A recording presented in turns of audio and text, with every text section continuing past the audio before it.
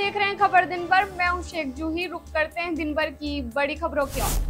राजस्थान की राजधानी जयपुर के स्कूलों को सोमवार को बम से उड़ाने की धमकी मेल के ज़रिए दी गई। पुलिस की टीम ने स्कूलों में पहुंचकर जाँच की। पुलिस के अनुसार इन स्कूलों के बच्चों और स्टाफ सदस्यों को बाहर निकाल लिया गया था।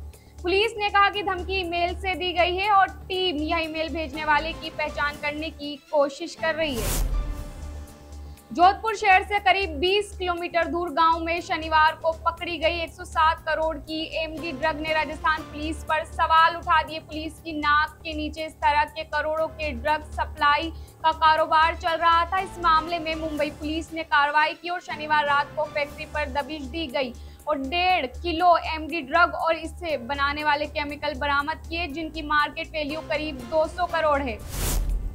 राजस्थान के धौलपुर में किन्नर समाज के ज़रिए तीन दिन का विशेष कार्यक्रम आयोजित किया गया। इस कार्यक्रम में पूरे ज़िले सहित देश विदेश में अपने यजमानों की खुशहाली और सलामती के लिए रब से दुआ मांगी गई। इस मौके पर पूरे शहर भर में धूमधाम से शोभा यात्रा निकाली गई। किन्नर समाज ने इस मौके पर हनुमान जी के मंदिर में घंटा और अब्दुल्ला शाह बाबा के मजार पर मुकुट चढ़ाकर कौम की एकता की मिसाल पेश की।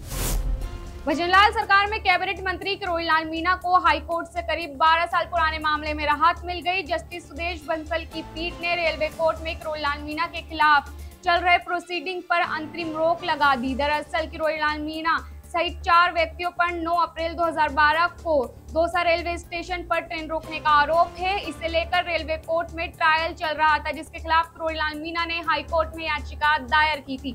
इस पर सुनवाई करते हुए कोर्ट ने किरोड़ीलाल मीणा को राहत दी।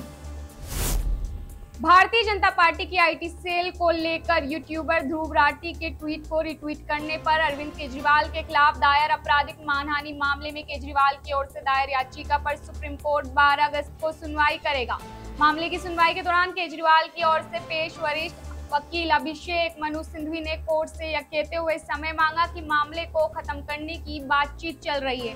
फिर कोर्ट ने सुनवाई को टाल दिया। जेल से बाहर आते ही अरविंद केजरीवाल धड़ाधड़ रोड शो कर रहे हैं। आज मोती नगर में रोड शो के दौरान उन्होंने कहा कि भाजपा के लोग कह रहे हैं कि 20 दिन के बाद मुझे वापस जेल जाना है, लेकिन अगर आप सभी झाड़ू का बटन दबाएँगे तो मुझे जेल जाने की ज़रूरत नहीं पड़ेगी। आपके हाथ में बहुत ताकत है। हेमंत सोरेन की गिरफ्तारी को चुनौती देने वाली याचिका और अंतरिम जमानत की मांग वाली याचिका पर सुप्रीम कोर्ट ने सुनवाई की। इस दौरान जस्टिस खन्ना ने पूछा कि क्या उस ज़मीन पर सोरन का कब्जा है? मामले की अगली सुनवाई 17 मई को होगी। समाजवादी पार्टी ने आरोप लगाया कि यूपी में कनौज लोकसभा सीट के कनौज में बूथ संख्या 354 पर मुस्लिम महिलाओं को आधार कार्ड से वोट डालने नहीं दिया जा रहा है। यहाँ पर मतदाताओं को परेशान किया जा रहा है। चुनाव आयोग मामले पर संज्ञान ले। हैदराबाद से एआईएमआईएम चीफ असदुद्दीन ओवैसी के खिलाफ चुनाव लड़ रही बीजेपी कैंडिडेट माधवी लता विवादों में घिर गई। दरअसल माधवी ने हैदराबाद के एक बूथ पर कुछ मुस्लिम महिलाओं से वोटर्स आईडी मांगे, उनके चेहरे से बुरखा हटाया और आईडी से उनका चेहरा मिलाया। अब इस पर विवाद छिड़ गया। घटना का वीडियो सामने आने के बाद माधवी लता के खिलाफ हैदराबाद के पुलिस स्टेशन में केस दर्ज कर लिया गया। मामले पर हैदराबाद कलेक्टर ने कहा कि माधवी लता के खिलाफ 171 सी 505 सी और लोक प्रतिनिधित्व अधिनियम की धारा 132 के तहत मामला दर्ज किया गया है।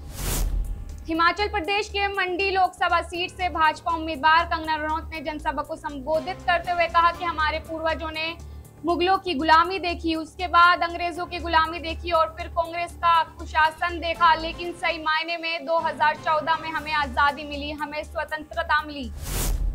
आज खबर दिन भर में इतना ही। दिन भर की तमाम खबरों के साथ आपसे फिर रूबरू होंगे। शुक्रिया।